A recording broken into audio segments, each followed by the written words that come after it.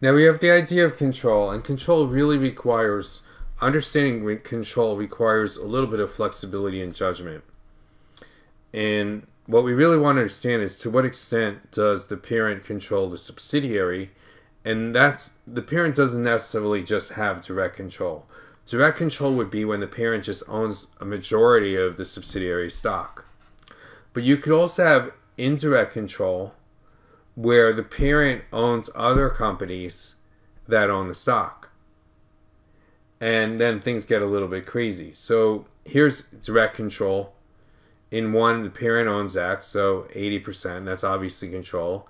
In two, they own 90% of X, 70% of Y, that's great. In three, they own 90% X and 80% of Y.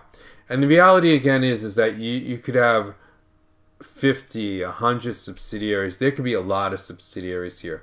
And what usually happens is they tend to pyramid. And you could have, in a medium sized company, you could have four or five different levels in this pyramid.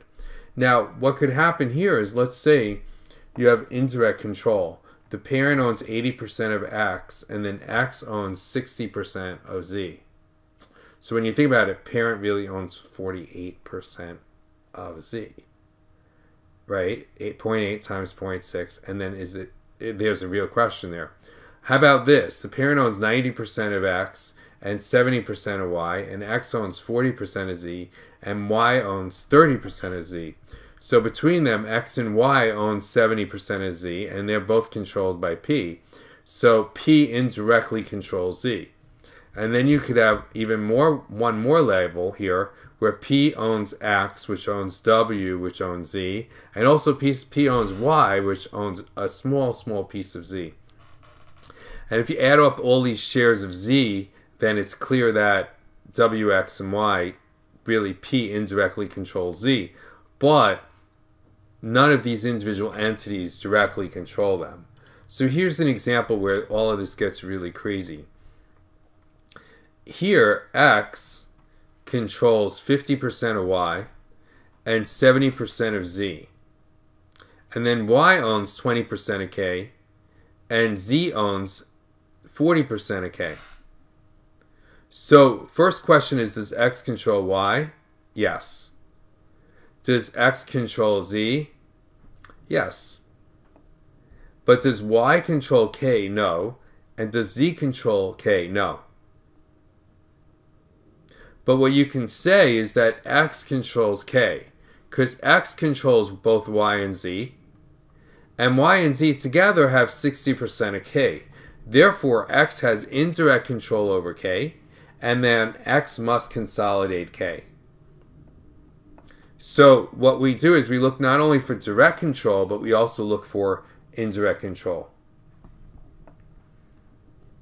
Now, you could have situations where the parent has more than 50% of the stock of the subsidiary, but consolidation is still not appropriate. For example, if the subsidiary is in legal reorganization or bankruptcy, then the parent does not have control over the sub because the court does, the bankruptcy court, and therefore consolidation would not be appropriate. You could also have situations where the subsidiaries in a foreign country, and the government of that country does not allow the parent to recover its profits in cash. Because the parent owns the subsidiary, but it's not allowed to take the cash out of the country. In that case, we can argue that it's not does not have control, the government does, and therefore may not consolidate. Now, what does it mean not consolidate? We know consolidation is you combine it together like one. So then what are you going to do if you don't consolidate? Then there'll be a single line on the balance sheet investment in this company. So these would be two examples where you could have more than 50% of the stock but not be able to consolidate. And therefore, we got to look at the situations individually and think about them. Just the basic idea does the parent have the ability to control the sub? Another situation that comes up is where the parent's fiscal period is different from the subsidiary. So the parent might have a December 31st year end, but the subsidiary has a November 30th year end. one thing which you can do is change the fiscal period of the subsidiary. The other thing that you can do is adjust the data of the subsidiary to reflect the parent's fiscal year. So even though the fiscal year is, ends November 30th, what you would do is remove December from last year and add December of this year and recreate the financial statements as if December 31st was the fiscal period of the subsidiary, then consolidate them. But you're not going to consolidate apples with oranges. Now, ASC 1055 was issued to try to eliminate a lot of the inconsistencies in consolidation and determining when there's control. And the truth is is that this is not really complete. This is an unfinished project of the FASB and the FASB is always trying to accomplish this. They've been doing this ever since I've been teaching this class, which is longer than I care to uh, it's actually it's not long enough because I, I could keep teaching i want to teach this class for the rest of my life and i plan on living a long time so decades from now, students will still be taking advanced accounting with Holtzman. Maybe the videos will be new. I'll have new kinds of videos. But I want to teach this class for a long time. I just wonder, like when I'm 100 years old and I'm still teaching this class, will FASB have ever come out with a rule on this that really covers everything?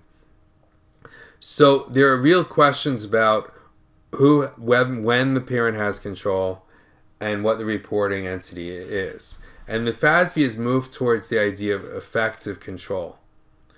And this would be the idea that the parent has the ability to direct the policies of the sub, regardless of whether or not it has more than 50% of the stock. And what I happen to think is going to happen, we're going to talk about variable interest entities and special purpose entities later on, is I think eventually the FASB is going to adopt a system that's more like the variable interest entities where you're talking not only here about effective control, but you're talking about risk. And I think that that's eventually where the FASB is going to go. Um, I don't know, you know, I want to live a long time, but I don't know if I'm going to live that long. But I think that's eventually what the FASB is going to do. In other words, so this could be done very simply by looking at the governance structure of the subsidiary. Is that if there's a board of directors of the sub, how many people does the parent appoint to that board? And part of this problem is also defining the accounting entity. And the thing is, is that the FASB is not clear about what belongs to the accounting entity and what doesn't. In other words, what's part of the company and what's not. And you're going to see this problem in the coming learning objectives in this chapter. So ASC 810 is a quick attempt to try to address a lot of the issues that come up, but the FASB hasn't yet come up with a comprehensive way of dealing with this. P owns 60% of X, 75% of Y. X and Y jointly own 100% of Z. Under what circumstance would P not be deemed to control Z? A. Z is a bank. B. Z's products are largely sold overseas. C. Z is currently in Chapter 11 bankruptcy. D. Z has a CEO, CEO known to have a bad temper and a serious gambling habit, so we can have no control over whatever that CEO does. E, none of the above. And the answer is um not B.